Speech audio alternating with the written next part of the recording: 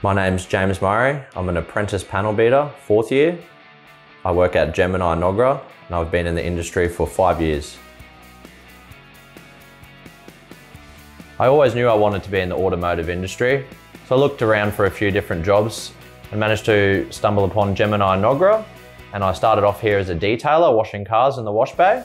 That was good, but then I knew I wanted to work on the cars so an opportunity came to be a panel beating apprentice and I took that. Then I signed up with MTAQ for my training. And yeah, just I'm nearly finished. I've got about six weeks left and I'll be done.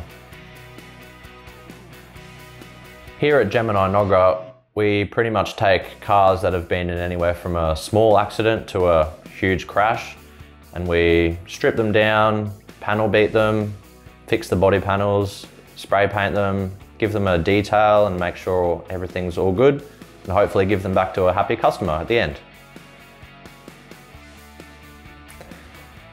As a panel beater, there is no regular day. Every day is different. It could be doing anywhere from a little small dent in a guard or a door of a car, hammering it out and using a bit of body filler, or you could be doing a full front end or collision, straightening rails, chassis, or cutting a quarter panel off a car, welding a new one on every day is different, you know, no day's the same and yeah, it's good fun.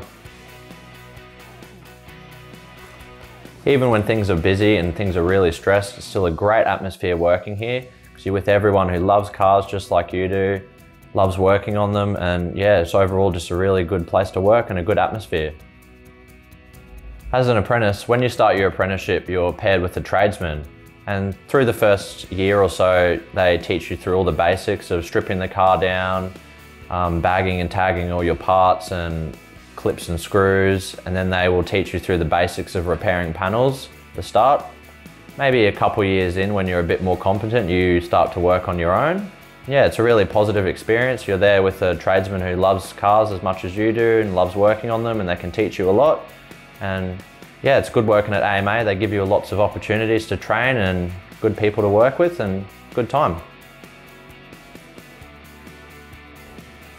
A good day for me is when the car's been repaired, painted, detailed, everything's been put back together, looks nice as anything, and then we get to drive it up the driveway and give it back to the customer. They've got a big smile on their face.